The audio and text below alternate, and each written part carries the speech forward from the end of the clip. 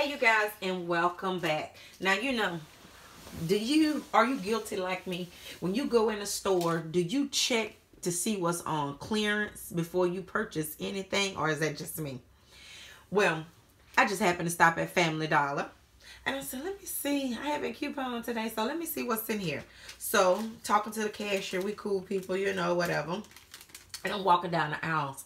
I said, dang, I know I got a coupon in my purse. Let me see if I can find it. Now, y'all remember these coupons from um from April's, well, March, end of March, April PGs, right? And these expire on the 28th. See these? So the Downy, the white bottles are on clearance for $3.50 and they are the bigger bottles but i like them so whatever they'll go in some bundles. And i know a lot of people have been asking me to post some bundles and i had told you guys last week that i would. So tomorrow no later than no later than tomorrow maybe friday morning i'll do some um put some bundles together. So you guys let me know what you you want to see because I know somebody commented on just how I price my bundles. Then somebody want a bundle on the Arm & Hammer deal. I'm going to do a little bit to show you the price difference and say like the Purex, the Arm & Hammer, the All, the Tide, and the Gain, and the Persil. You know, the higher ends. Uh, but I start off with the smaller budgets all the way up to the bigger budgets because everybody's price is different, believe me.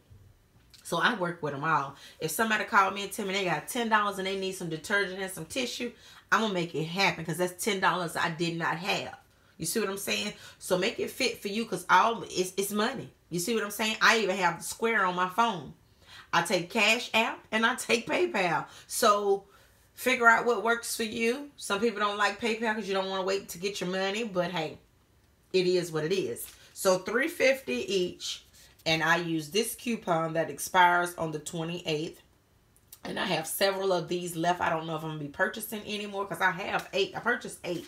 So I feel like that's enough. I might grab two more to make 10 bundles at either 25 or $30. I'm not sure if I'm going to use Tide or with Gain. So I'm going to I'm going to figure that one out, you guys. So here is my receipt.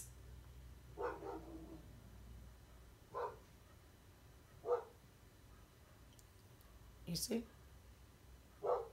You see how the coupon took the 350 off of one and then took the other 50 cents off the other? You see? Because I know some of you going to be like, uh, why did it take the 350 off of that one and then 50 cents off? The coupon is $4 off too, so I assumed it was going to do two and two, but it didn't. My out-of-pocket is $13.96, not bad, especially if you're planning on flipping them. But I have several of these coupons left. They expire on the 28th.